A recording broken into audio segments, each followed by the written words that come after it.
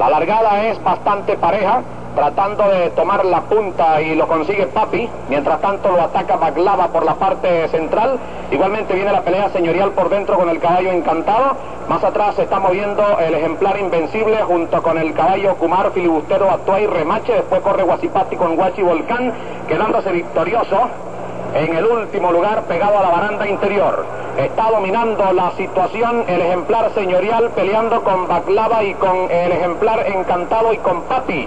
Después corre Remache. Más atrás lo está haciendo el ejemplar invencible con Filibustero y luego Kumar. Desde el fondo mejora un poquitico el caballo Guasipati junto con Atuey y también Guache. Luego está corriendo Volcán y sigue último victorioso bastante lejos.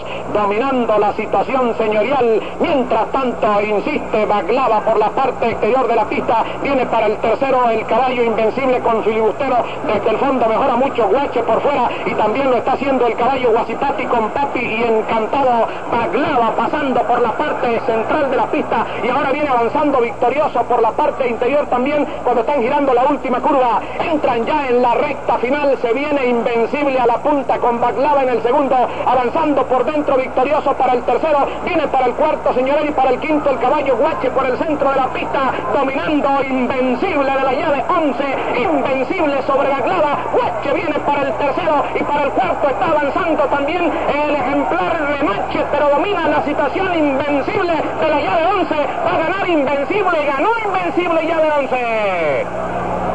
Segunda Baglava. Luego Guache, Remache, Señorial, Victorioso, Filibustero, Encantado, Guasipati, Atuey, Ocumar. Los últimos puestos para Volcán y Papi.